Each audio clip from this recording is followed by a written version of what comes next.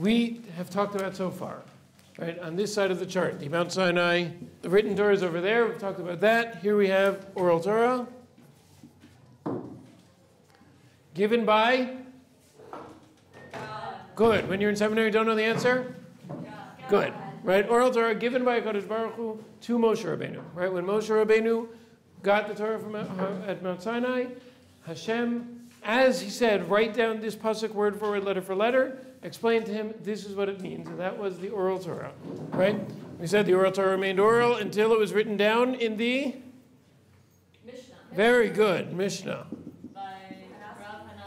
Very good, Rabbi Yehuda Nasi. Excellent. Right? And we said that was enough until about 300 years later when what got written down? Gemara. The Gemara. Good. And Mishnah plus Gemara equals? Talmud. Wow, you guys are on the ball. Baruch Hashem. Look how much you've learned. Right? Amazing. Very few people in the world know what the Talmud is, and you guys do now. I think that's, that's amazing. Okay, now, we talked last time that in the Talmud you will find three different types of oral Torah, right? Number one, we said was what?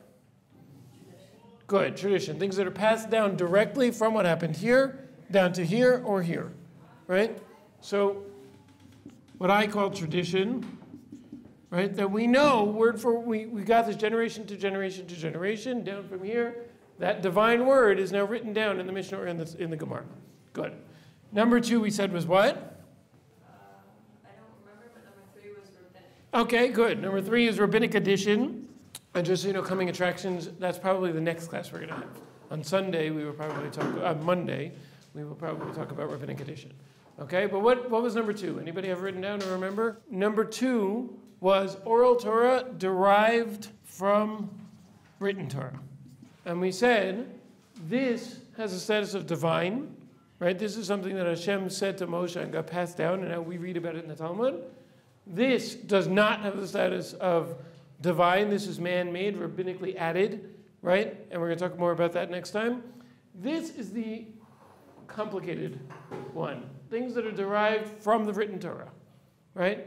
And we talked last time, I, I told you there are two different opinions in the Rishonim. We'll get to who the Rishonim are. Right? By the way, other coming attractions. So far, we've only gotten up to about the year 500, 1500 years ago. We are going to talk about what happened since then, right? But first, we're really trying to understand what the Talmud is. Okay? Um, so we mentioned two different opinions within the, the laws that are derived from the written Torah. Why do we have to derive them from the written Torah? Right? Why don't we have them as part of the oral Torah that was given to Moshe? We said there are some things that we only know because we say there's this extra word or there's this extra letter or the deeper meaning of this, this sentence in the Torah is this. Why do we need that? Why, is, why isn't this enough that things are passed down teacher to student, teacher to student from here? So I told you last time there are two different opinions in the Rishonim, in the commentaries. Number one is the Rambam. And number two was someone named the Or HaChaim. Okay, and I mentioned, anybody remember these? The Rambam says, why do we have things that are derived from verses? Because Hashem meant it to be that way. Hashem intentionally left some things out of the oral Torah. He gave us the rules, and we're going to talk about this today. He gave us the rules of how to extract information ourselves. And Hashem wanted that the giving of the oral Torah would be a process, some of which was given directly by Hashem, and some of which we had to derive on our, on our own. Right? That was the Rambam's approach. Therefore, according to the Rambam, things that we derived from the written Torah weren't given to Moshe at Mount Sinai, right? They had to be derived through the written Torah. Okay? Now there's another opinion, the Or HaChaim, and the Or HaChaim says no, everything was given at Mount Sinai, right? And Hashem knew that people are fallible, and as much as we talked about the fact that, that the passing down of the oral Torah was not comparable to a game of broken telephone, right? Even though we've discussed that, nevertheless, according to the Or HaChaim, Hashem knew that things might get forgotten, and in fact they did, right? But Hashem gave us the world's first emergency reboot disk, right? Which was what? The written Torah. And from the written Torah, you could recreate anything that you lose That's part of the oral Torah. That's the Or Chaim's approach. So the difference is, according to the Rambam, anything from this second category was not given at Mount Sinai, but it was left for us to derive. According to the Or Chaim, anything in this second category was given at Mount Sinai, was subsequently lost, and then was recreated from the written Torah. Okay? And we're going to discuss that more today. Any questions up till here? Yeah. You mean recreated? Or it was in the written Torah, we just have to find it? Well, again, remember, we're going to talk about things. This is things like, you know, we mentioned the that it says honor your father and your mother. It doesn't say honor your older sibling. But you could ask, why is that vav there? There's a vav there that maybe we could have lived without, right? There are no extra letters in the Torah, right? And therefore, we could say that extra letter is there to teach me something, a law that you wouldn't find in the written Torah. I'm now suggesting that that's part of the oral Torah, would say this rabbi of the Talmud period right? Now, he didn't have any tradition of that. He didn't hear that according to the Rambam from the previous generation. And he's, he is putting forth, I think this is a part of the oral Torah, right? And we're going to talk about, we'll talk, we're not going to talk so much about where the authority for that comes from, but we're going to talk about that process today, okay? Um, first, I want to, I'm going to share with you a piece of Gemara. First, I just want to um, finish something that I didn't explain last, a couple times ago when we talked about this right? We talked about this is a page of Talmud, right? Where's the Talmud in here? In the middle, right? We said around it is commentary. We're going to get to that, okay? What's we, we pointed out that every tractate, this is the same tractate I showed you last time, the tractate of Rosh Hashanah, right, which is called the Masechta. Masechta means tractate. I'll write that on the board in a minute, right? Um, starts with a Mishnah. It starts with this pretty box, right? And then for a few lines of Mishnah, we saw that you can get 10 or 12 or 15 pages of Gemara explaining that Mishnah, right? Um, before I show you, we, we study a piece of, I, I read for you a piece of Gemara, I wanted to just explain to you, I'm going to tell you what page is on, right? Now, how do you count pages in the Talmud? So we said there are 2,711 pages in the Talmud. Page means this is one page, right? Means like pieces of paper, right? So this, you and I would probably say this is page one and this is page two. But in the Talmud, we don't count that way. In the Talmud, this is page one. This is, well, actually, uh, I'll get to that in a minute. But let's say this is page one, right? This is side A, and this is side B, right? So when you hear somebody says, it says in the Talmud on page 43A, it means the 43rd sheet, right? Side A as opposed to side B, right? Now, I laughed when I said this is page one, because the truth is the Talmud never starts with page one. Every Masechta starts with page two, right? Page one is the title page, right? So this is actually Daf Beis, or Bet, side A, right? Or what we call Amud Aleph, okay? So again, whenever you hear somebody say, right, 43A, or in Hebrew they would say Nun Gimel Aleph, right? So that means page 40, the 43rd piece of paper, side A.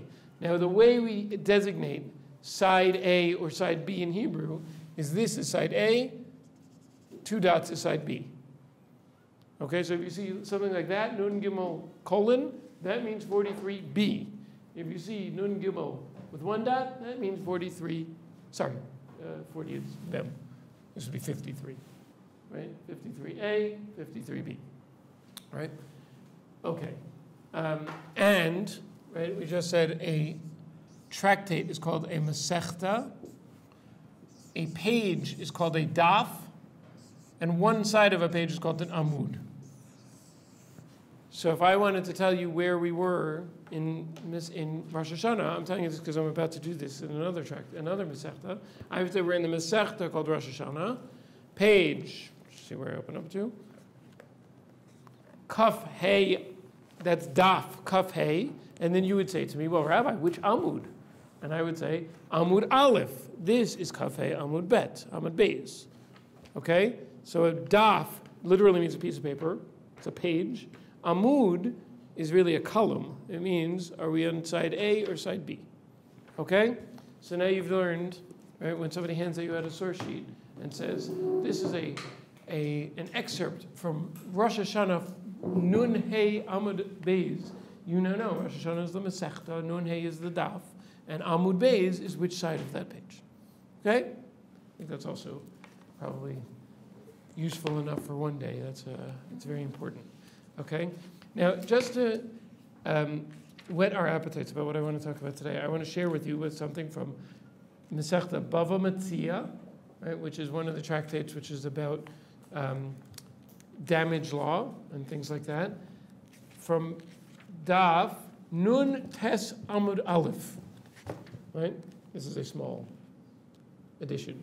Right? Nun Tes Amud Aleph onto Nun Tes Amud Beis. Okay, I want to share with you a story you might have heard before. Right? Fascinating, fascinating hashkafic philosophical story that we're going to have to talk about. Okay? The Gemara says that there was a particular oven, right, called the Tanur Shel Shel Achnai. Why it was called that is discussed. Okay, it was this particular oven, and there was a discussion amongst the rabbis: Is this oven ritually pure or ritually impure, tahur or tameh? Right? And they all did their research and they all asked all their questions and found out everything they needed to, and then they took a vote. Right? And it doesn't say how many people were there, but the vote was everybody versus one. Right? The one was Rabbi Eliezer. Right? So we had Rabbi Eliezer versus everybody else. Rabbi Eliezer said, it's fine, it's pure, it's tahor. Everybody else said, no, it's tameh, it's impure. Right? So what do they do? They have a difference of opinion. They took a vote, and the majority, the vast majority, said it's impure. So there's a rule in the Torah that says, we'll talk about rules in the Torah in a minute. There's a rule in the Torah that says that in such cases you follow the majority. So they said, Rabbi Yehoshua, who was the leading rabbi of the generation, said, okay, we follow the majority. The ruling is an oven like this is impure. Right? Now, Rabbi Eliezer said, uh, wait, I have a comment. They said, yes. He said, um, I'm right. They said, okay, well, that's very nice, but we, we follow the majority. So he said, well, listen, I can prove I'm right. If I'm right, then you see this carob tree over here? Let it move over there. And it did, right? Miraculously. Now, again, whenever we talk about these cases, or was this literal, was this not literal, we'll talk about that when we get more to Agadah. Okay, it doesn't matter for our purposes, right? Rabbi Eliezer said, this tree over here, let it move to there if I'm right, and it did. So you know what the rabbis did? What would you do? If you were Rabbi Yehoshua, what would you say? Good, we just ruled it's impure, but I guess we're wrong. It's pure. But Rabbi Yehoshua said, wait a second, I have a copy of the Torah here. Let me just look for a minute, said Rabbi Yehoshua. I can't find any verses that say that we rule based on trees moving. But I do find a verse in here that says we follow the majority. So we're going to stick with the majority. So Rabbi Eliezer said, wait, no, I'm right. I can prove it. If I'm right, let this stream that's flowing downstream stop and flow upstream. And it did. And Rabbi Yehoshua said, streams flowing upstream. Doesn't say anything about that, but it does say follow the majority, so we're going to stick with that. So Rabbi Yeshua said, Rabbi Eliezer said, wait a minute. If I'm right, let the walls of this beis medrash, this study hall, cave in. And they did. And they came all the way down until they were almost hitting everybody, and they stopped out of the honor of the Talmidei Chachamim, right, of the Torah scholars who were there. And the and and Rabbi Yehoshua said, wait a second, walls caving in. He's probably over like this, walls caving in. Said, I don't find anything about that, but I do find that we follow the majority. So Rabbi Yehoshua said, okay, I didn't want to have to pull out this card, but I will. If I'm right, let the voice of Hashem himself come out and announce that I'm right. And a heavenly voice came out and said, the halacha is like Rabbi Eliezer. Right? Rabbi Eliezer's right. Now, what would you do at that point? Okay, God, God ruled, right? Rabbi Yeshua said, heavenly voices calling out. Well, there is a verse that says the Torah is not in Shamayim, lo Shamayim. The Torah is not in heaven, the Torah is here. And there's another verse that says we follow the majority. So we're sticking with the majority, right? So you had Rabbi Eliezer and presumably Hashem on that side, and all the other rabbis on this side. And we follow, we, the law followed the rabbis, right? And Rabbi Yehoshua ruled in, a, in accordance with the majority, against Rabbi Eliezer and his miracles, and presumably against what the voice of Hashem had just said. Right? Yeah. If um, everything he's saying is happening show that he's right and the oven is not impure, um, wouldn't the majority vote then change just because they now believe, and even when God speaks and like says he's right. Right. Okay. Good. How come the majority didn't switch? Or didn't switch their opinion? Good. That's a good question. I'll. Now it's like they don't even trust God's like voice. Like they're gonna just the majority is gonna think still that it's impure. The majority should change. Right. Necessarily them saying they believe it and they're gonna not clean it or that it's uh, not impure just because of what is happening. Right. Okay. Excellent. Meaning, surely the most important thing should be I want to know what Hashem wants. And if Hashem wants that, so then that's what He wants. Right. Okay. Good. Right. So we could ask question number one would be why didn't Rabbi Yeshua say you know what we're going to rule against the majority, right? Because God counts for a lot, right? And number two is why didn't the majority get up and move to the other side of the table? Yeah. Maybe that was God being like, all right, how much do you really follow my rule book? What if I do all of this? Will you still agree that like this law is this law and that you have to follow it? And Mhm. he's like following the majority.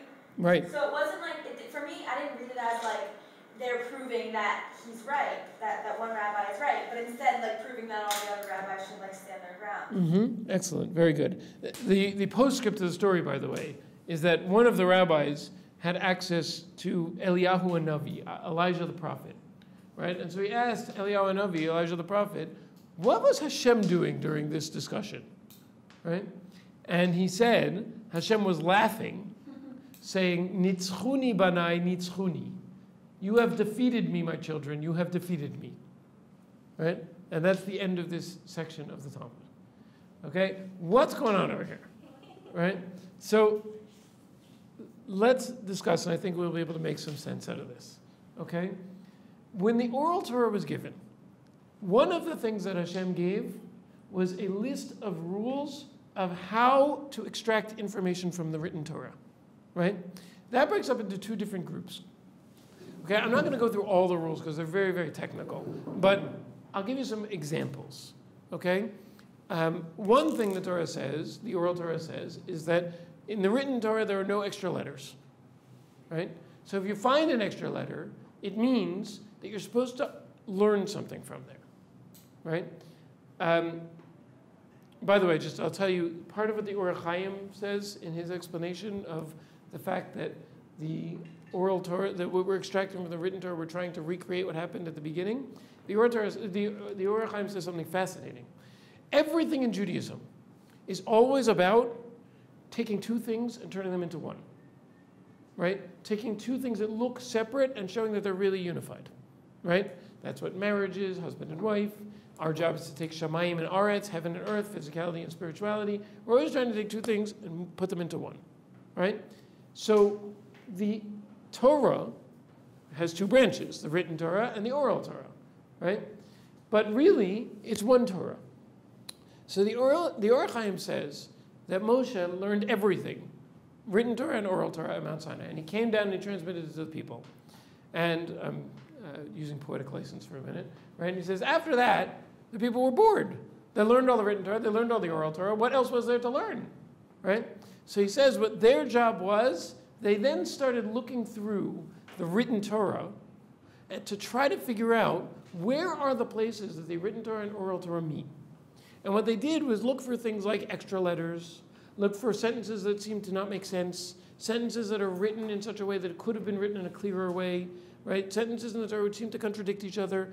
And those are all clues that a piece of oral Torah connects up with this, right? So according to the Or Chaim, right, they were actually going and trying to find where does the oral Torah go in to the written Torah, right? And that that's what studying Torah was. If you knew the whole written Torah and the whole oral Torah, that's what you'd do.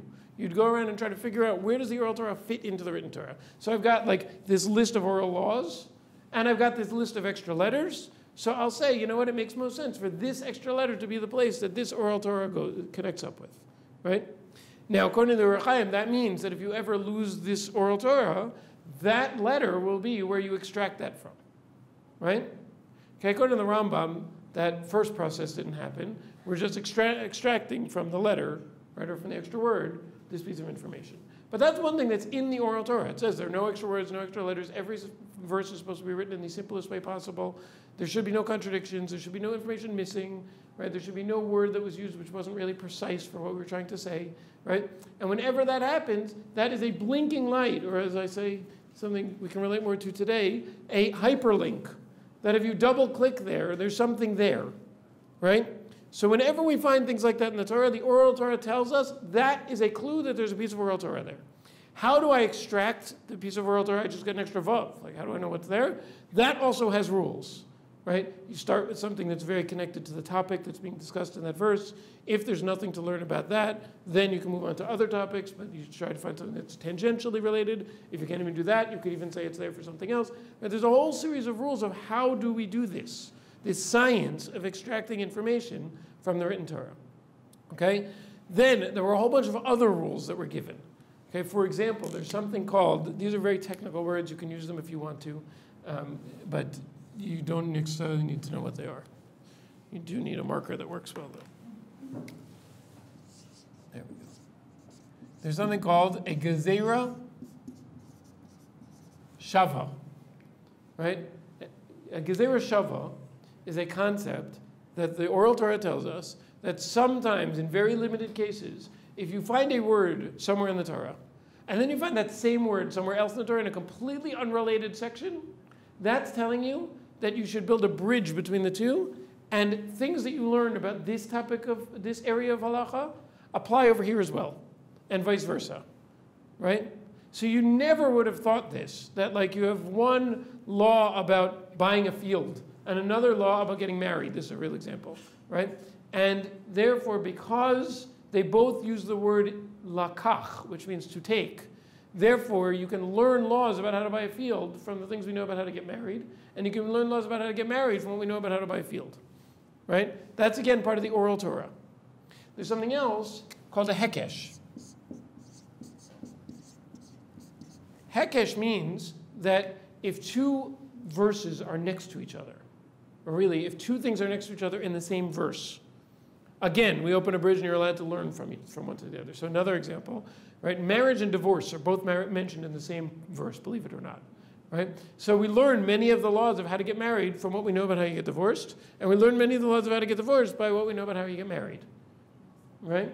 So, and right now again, that doesn't that's not necessarily logical, right? But it's a it's part of the oral Torah. We're also told that you're allowed to make something, this word you might have heard of, that you're allowed to make a what's called a kal v'chomer. Right? Kal means light and chomer means strict. Right? Which means that you know, if I tell you um, I can lift 100 pounds, right? So can I lift 50 pounds? Yes. And if I tell you I can lift 100 pounds and there's a big burly man, or bigger and burlier than I am, right? Standing next to me. Why are you laughing? Standing next to me, right?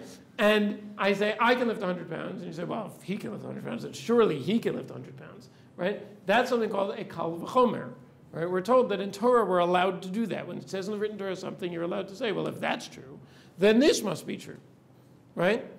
Um, another example is something called a binyan av. Again, these are very technical terms, right? I don't, these don't, probably won't come up that often in everyday conversation. But a binyan means that literally means building a father. And what it means is that when I'm taught something in the Torah, I'm allowed to say, this concept that I just learned in this area of Jewish law should apply to all other areas of Jewish law unless there's some logical reason that it doesn't. Right? So, for example, if I learn um, that you acquire something in a particular area, right, by um, lifting it up, right? If, if it says somewhere in the Torah that if you lift something up, you acquire it. So now I could say in a completely different area of Jewish law, if I want to acquire something, I can do it by lifting something up, because that's how you do it over there.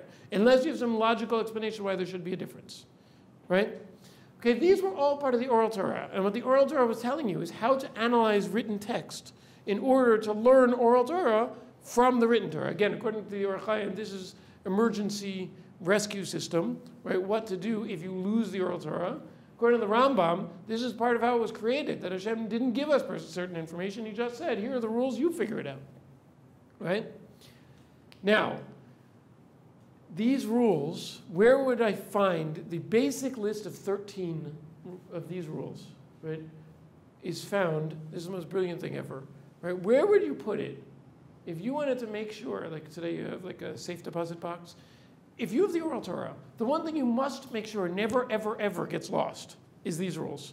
You could lose the whole oral Torah, fine by me, because you could recreate it. As long as you don't lose these rules. But if you lose these rules, you're in big trouble. Because then you lost the oral Torah and you can't recreate it because you don't know the rules, right?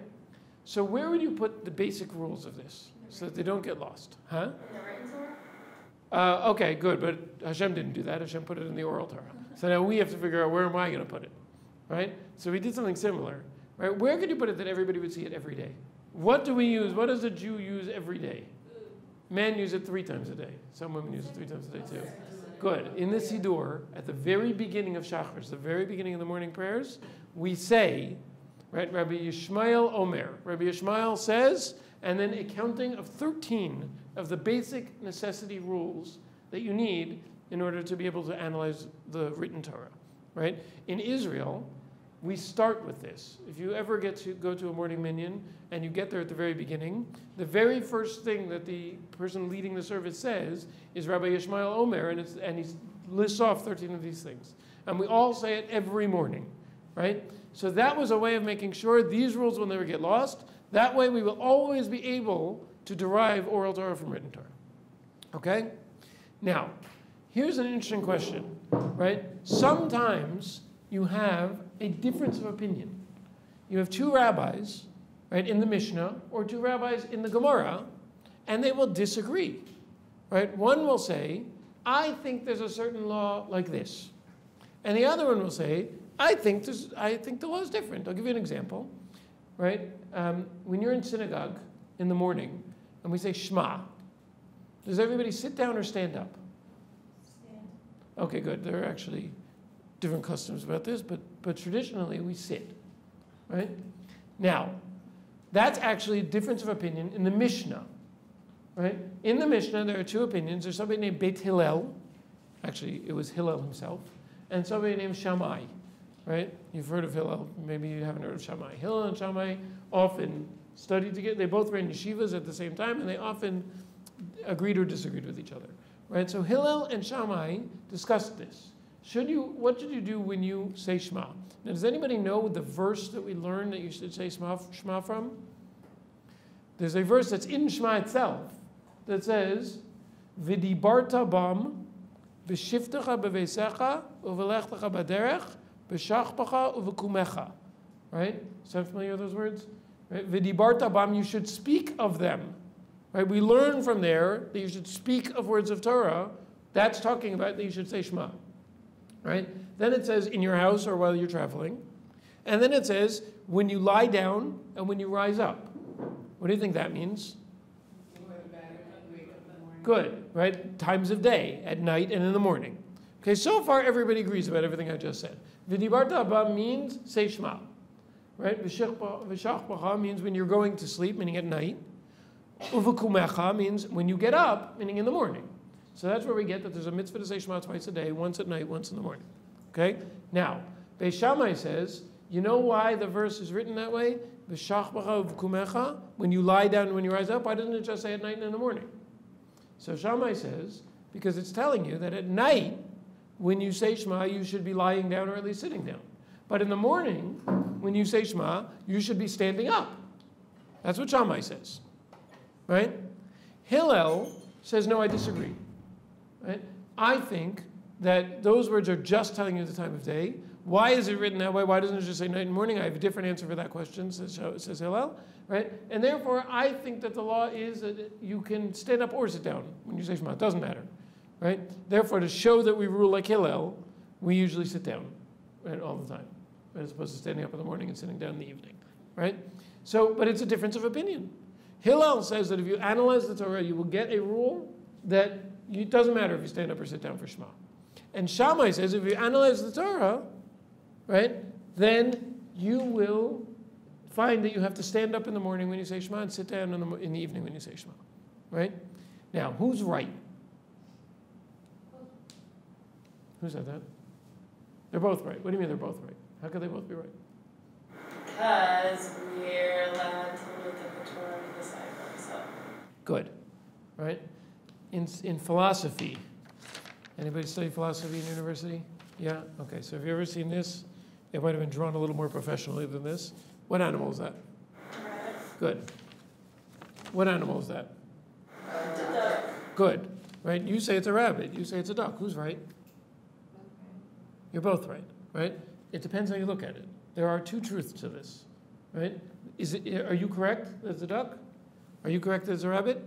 If somebody else said that it's an elephant, are they correct?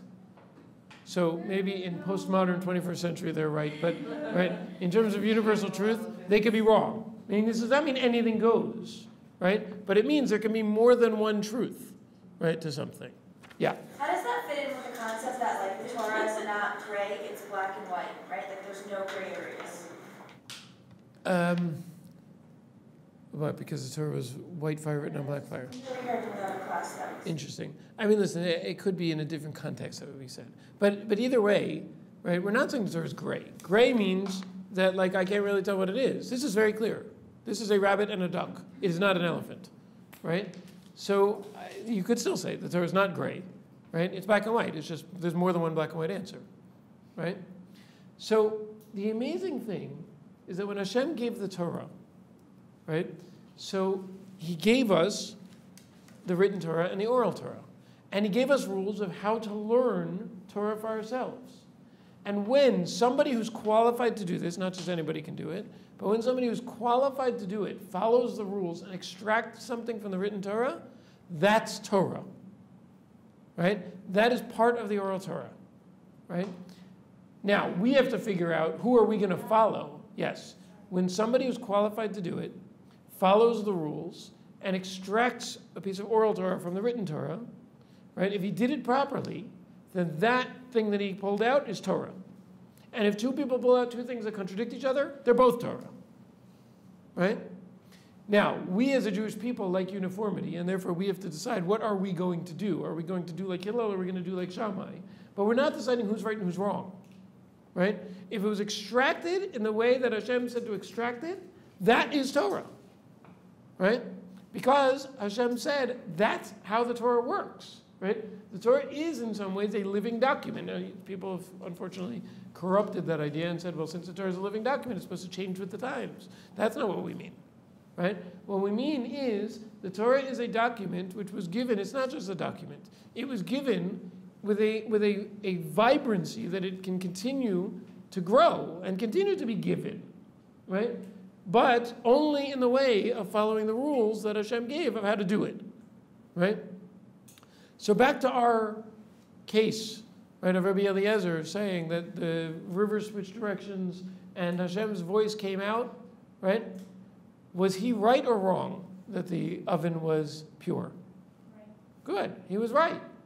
And that's not what Rabbi Yehoshua and the rest of the rabbis were trying to figure out. They weren't doubting that Rabbi Eliezer was right. They wanted to know, okay, but what is the what what are we going to do? Right? So the voice, heavenly voice coming out didn't really help them because they say, okay, very nice, it's right, it's true, we know that. But what we did, we know we followed the appropriate rules and we also came up with Torah. Now it's just a question of which one are we going to follow, and the Torah dictates that we should follow the majority. Right? Yeah. But if they weren't doubting that he was right, then why did they think that it was like the opposite? Because they were also right. Right? It- how come you're not arguing with Sabrina? Sabrina said this is a rabbit. Right? You say it's a duck. Tell her she's wrong. No, but I mean, but that's not, the that's just a different perspective, but with what they said, it was pure and impure, which are direct opposites. So, like the duck is not the opposite of a rabbit, like. Okay. Right. Yes. So, so the answer is once we know that they're both Torah, then there are separate rules of how do we figure out what the Jewish people should follow. Should we follow Hillel? Or should we follow Shammai? Should we say it's pure or should we say it's impure? Right? So they were following those rules. Right? One of those rules, which we have not discussed, but one of those rules is follow the majority. Right? So they were saying, your truth is true and my truth is true. Right? Now that doesn't mean any truth is true right? But these happen to be two legitimate ways of learning the written Torah to come up with a piece of Torah, right? Now the only question is which one are the Jewish people going to follow? And for that we have a rule: we follow the majority, right? So, so knowing that Rabbi Eliezer was right didn't help because we knew he was right, and we're also right. Now we just have to figure out which one do we follow, and that has its own rules. like, I understand how both people can be right if they have different perspective on something, but I don't understand how both people can be right about something if they directly contribute. Okay, excellent. Right. It's very nice that I can say that an oven is both pure and impure, right? But how can it be pure and impure? Those two things are opposite, right? Unless, well, I mean, we kind of learned that, you know, um, someone gave us an example of the library is closed on Wednesday, but it's also open on Wednesday, so it's closed in the afternoon, it's open in the morning, something like that. Okay, But good. in this case, I feel like a characteristic can't apply, like, it can't be pure in the morning. I guess it could be pure in the morning and then pure in the afternoon, but Right. But that's not what- right. But but no, where we, the, the ruling was it's impure for all matters, not it's impure for some. But, right. Good. So I'll tell you an interesting thing that we do when we study Torah. Right. But this will hopefully help with your question. Um, the, the Talmud tells us that there were different styles of studying. One of them was Rabbi Akiva. You've heard of Rabbi Akiva before, right? Rabbi Akiva, in his yeshiva, they would look in the written Torah and they would see that the Torah tells us that, let's say, a certain animal is pure, right? Or a certain of it is pure, whatever, right? So then they would spend as much time as it took to come up with every possible argument of how you could argue the opposite. Right? The Torah said that this thing is pure. Good. Now let's get to work and explain why it's impure. Now we're not disagreeing with the Torah, right? We just want to understand the Torah was ruling that despite all those arguments for saying it's impure, right? There are even greater arguments for saying it's pure, right? Meaning everything, there are ways to look at it that it's one way, and ways to look at it that it's another, right? That's why this is such a good example, right? So the oven, right? From one perspective, you know, nothing in this world is as much as the Torah is, is black and white. This world isn't binary. This world is complicated, right? If you would ask a doctor, are this person's cells healthy or unhealthy, right? So everybody has a certain number of unhealthy cells, right? If that number, God forbid, gets too big, then the person's very unhealthy, right? As long as that number stays very small, the person lives a very normal, healthy life, right? So is it wrong to say the person's unhealthy? It's not wrong, right? It's just that, right? The person's more healthy, healthy than unhealthy. So sometimes there can be a judgment call. Is it more this or more that? We both agree that there are aspects of what you're saying and aspects of what I'm saying. The question is, which one is going to be the defining one, right? Which one are we going to let, which case of the two opposite cases will we let define this thing, right? Pure doesn't mean 100% pure, and impure doesn't mean 100% impure, right? It could be 50.001 to 49.99999, right? And, and one, it's, you know, one says it's this way, and one says it's that way, right? So we have to figure out what do we figure, feel there's a bigger case for.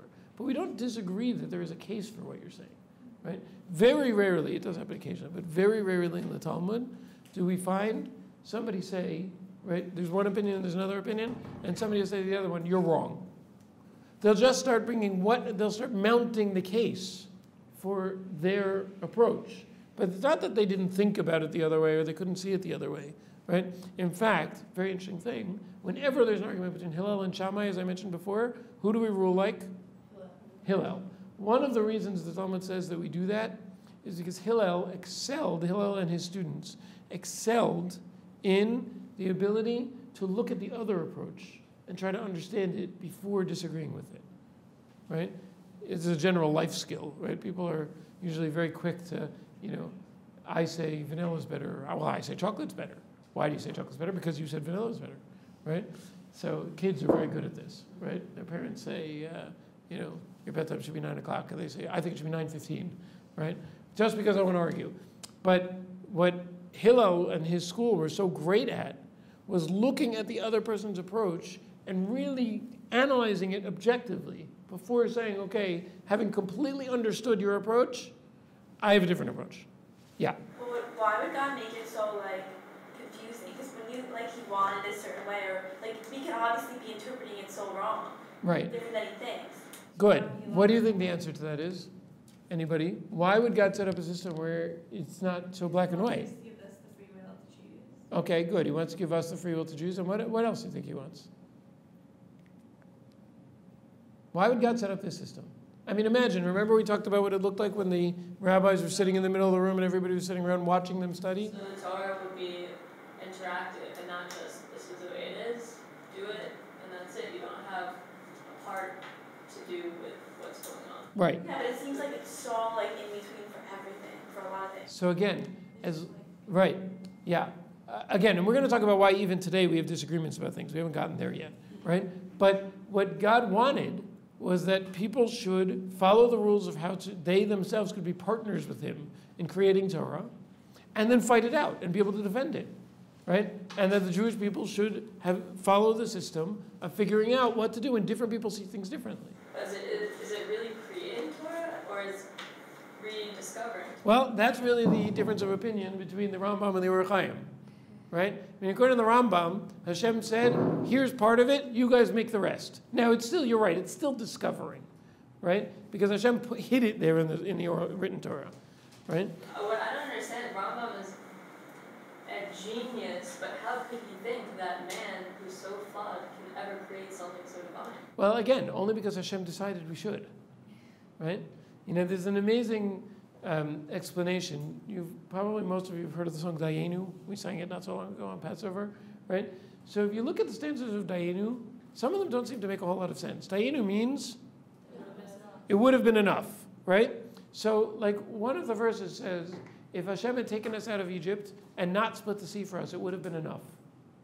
What would have happened if Hashem took us out of Egypt and didn't split the sea for us? So instead of being slaves in Egypt, we would have died, right? Right? So some of the, you really have to study that song. It's like a kid's, kid's song, right? One of them says, if Hashem had taken us to Har Sinai, to Mount Sinai, and not given us the Torah, it would have been enough, right? So what is this, like a tiul? Like we went for a hike and we went to Mount Sinai, but we didn't get the Torah, and that would have been enough, right? So uh, a great rabbi explained that what that means is that Hashem could have brought us to Mount Sinai and shown us the Torah. Said, look, everybody, in Shamayim there's a Torah. In heaven there's a Torah. Here's what it says, right? Top down, right? Hashem didn't do that. Hashem said, He took us to Egypt, uh, He took us to Mount Sinai, and He didn't just show us the Torah, He gave us the Torah. And He said, now you keep your responsibility. This Torah needs to be fleshed out. This Torah needs to be understood. This Torah needs to be learned. This Torah needs to be taught, right? The Torah in heaven was one thing, but once it's put into this world, now we have to make this Torah happen in this world, right? And that's how Hashem set it up, right? And is it perfect? Yes. Why? Because as long as you follow these rules, whatever you pull out of the written Torah, that is Torah. Right? If somebody is accused of, wait a second, you illegal procedure, right? You just did something that is not one of the rules in the Torah, so then that's not Torah, right? But as long as these rules were followed to extract information from the written Torah, and you know you are qualified to do that, so then that's Torah, right? And it's Hashem's divine, perfect Torah, as derived by man, right? So the answer to which of these are divine, this one is clearly divine. This one's clearly not divine. This one is human extracted divine Torah, right? So it is divine, and we relate to it as divine, right? And you could even have differences of opinion amongst people because people are extracting that divine opinion, right? If you get it out of the Torah using the rules, it's divine, right? And it's right. Which one are we going to follow? We'll have to talk about how we got to that, right? Okay, any other questions? Why Yeah. did God say the last part? What? Why did God say the last part? Which part? You laughed and he was like, oh, I defeated me, kids. Because he was so happy, right? And he was saying, they did it. This is what I wanted them to do, right? I didn't want them to just take the Torah and say, okay, we can't use any creativity, we can't use any input, we can't, right, argue our case, right? He wanted us to find the rules and live them and stand up for them and fight for them, right? So he said, wow, they did it, right? They even were willing to stand up to me, right, by using the rules that I told them to follow. Yeah. Question is maybe like a bad thing to bring up, but it is uh dress in terms of like skirts and stuff. Is that uh the second one? Is that like derived or is That's a great question. The answer is some of it is in all three, right? Right? Some of it, some of the laws of tzniut are like this. in terms of the line, some of the lines are like Yeah. So some of them are this. They were saying just don't wear men's clothes. So is that a rabbinic thing then? Well, no. So that exact example, don't wear man's clothes, is in the written Torah, right? That's not even oral Torah. That's in the written Torah. But literally, like they make pants for girls now. So is that? Okay. That's So Right, that's a great question, right? You need to have a class, right, on what is, where does it all come from? What's from the written, some of it's from the written Torah, You can, I, I'm probably not, I mean, I, I could teach it to you, but I think you should, probably should, maybe Mrs. Slater teach it to you, right? Somebody should, uh, should teach it, right? But some of it's from the written Torah, some of it is this, some of it is derived, right? For example, there's a section of the Torah called Sota that some of the laws of hair cover, head covering are derived from, right?